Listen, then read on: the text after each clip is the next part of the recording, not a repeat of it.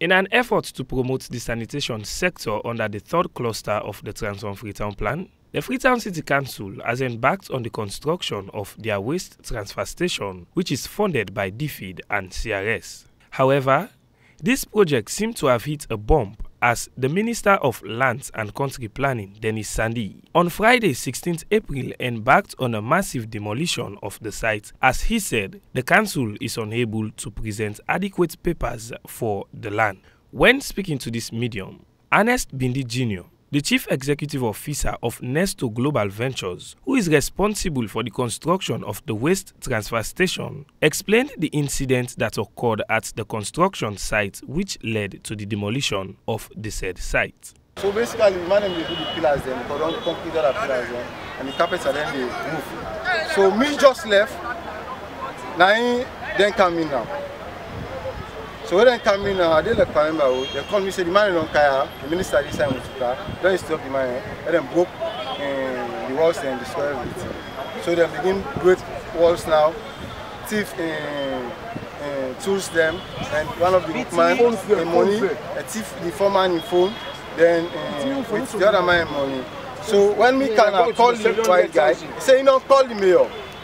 So the mayor they only really come. So but let me try forget pictures or photo and videos waiting they go on. So now I say okay. So like at the enter, I pull my phone, put on video. I just take the enter. And I the video say, say not do that stop. So like I just cancel it. So at the enter now they cancel it now. The other lady when I the engineer waiting, go and meet the shoulder man and say, me to do. Now say I get this site here. I say, and I'm really in charge. I get documents to the effect. They say if you're from land. I say, no, let's say I get document from land. I say the project, I city council, I get document from financial. Well, this video me the video. Let uh, we all the video because the minister they say nobody enough for video, nobody enough for take pictures, nobody enough for video, nobody enough for take pictures. So the security hold me phone. So I say, let give the phone. They say in the go and the minister say for both me phone. So now I say, well, I they go with them. So meanwhile, the Spanish don't come, say, la olola wait. We then come, then we take them from that point. I expected the Minister of Lands and Country Planning to have contacted me before taking such harsh decision on destroying a project that is funded by external partners, the mayor of the Freetown municipality, Yvonne Aki-Sawyerr, said. She further stated that the transfer station will serve up to 240,000 people in the six wards around the community. We all know this sanitation a big issue.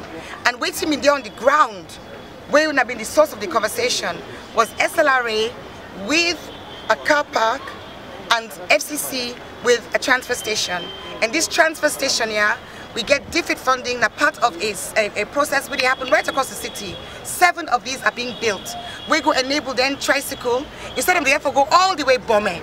Then it come here, go get light, it go get, as you see, the office, it get the sorting for the recycling material, and it go ensure, say, the tricycles, they not go get for go far. So they go collect more dirty, and we go able to process them. Every morning, they skip the cam, it puts the empty skip.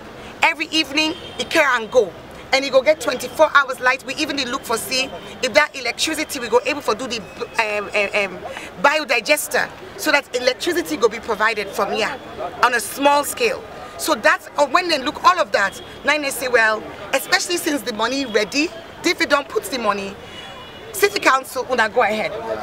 Me left that meeting day, the paperwork left with them. If when yesterday I asked Ishaka, I say, was any problem there?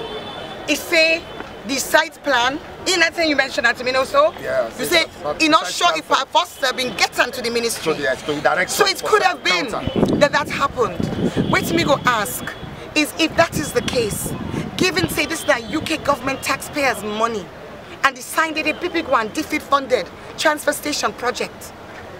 For come and say by tomorrow four o'clock, if we not get a document, we busy the right, then I don't ask them for the plan, for letting go now and say this plan here, it was supposed to have gone. We own internal issue, we make the plan not go. Now something way departmentally, we get forget to the bottom of them. But it but whatever the case, for let you move immediately to breaking down something we right externally funded at a time where we know say everybody dey cry for resources. Then wey the fund we then sef get covid na dem country. So i mean i think say we feel really we really feel am.